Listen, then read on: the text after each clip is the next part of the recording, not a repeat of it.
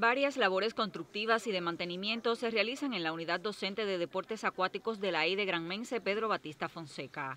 Como parte del programa 65 por 60 igual a Fidel, esta instalación deportiva recibe una reparación que le permite estar en mejores condiciones para recibir a las atletas del polo acuático que participarán en los Juegos Escolares Nacionales.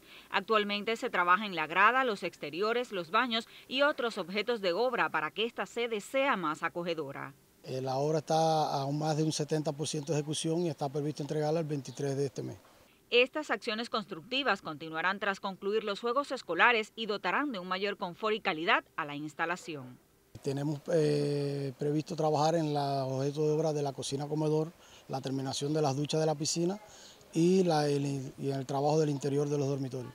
La reparación de la unidad docente de deportes acuáticos de Granma está a cargo de una brigada del Fondo Cubano de Bienes Culturales de la provincia y permitirá que este centro continúe siendo sede de eventos deportivos. Rosa María Torres Montalbán, Sistema Informativo de la Televisión en Granma.